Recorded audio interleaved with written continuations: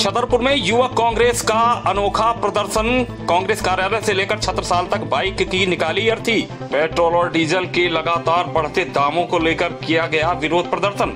छतरपुर शहर में युवक कांग्रेस के द्वारा अनोखा विरोध प्रदर्शन किया गया। कांग्रेस कार्यालय से लेकर शुरू हुआ ये विरोध प्रदर्शन। छत्रसाल चौक तक पहुँचा और कांग्रेस कार्यकर्ताओं का कहना था कि लगातार जिस तरीके से डीजल और पेट्रोल के दाम बढ़ रहे हैं उसको लेकर ये विरोध प्रदर्शन किया जा रहा है उनके द्वारा। और इस प्रदर्शन में बाइक को अर्थी पर रखा गया। और निकाली गई कांग्रेस कार्यालय से लेकर छत्रसाल चौराहे तक।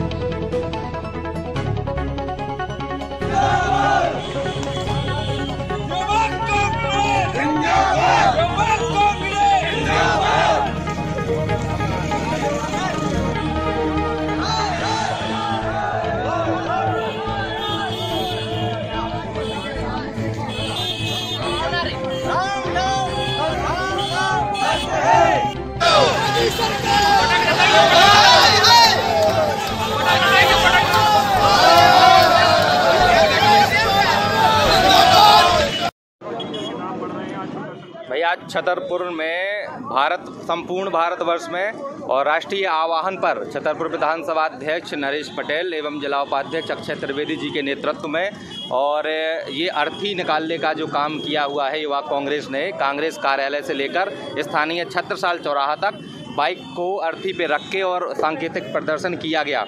जब 2012 में पेट्रोल के दाम एक पैसा, दो पैसा बढ़ा करते थे, तब नरेंद्र मोदी और समेत जितने भी भारतीय जनता पार्टी के बड़े लीडर हैं, प्रदर्शन किया करते थे, कहीं चूड़ियाँ बजाया करते थे, कहीं तालियाँ बजाया करते थे, लेकिन आज जब सतक पहुँचने वाला है पेट्रोल, डीजल, उनके कान में जूं तक नहीं रेंग रही है। इसी के विरोध में आज युवा कांग्रेस के द्वारा ये प्रदर्शन किया गया। है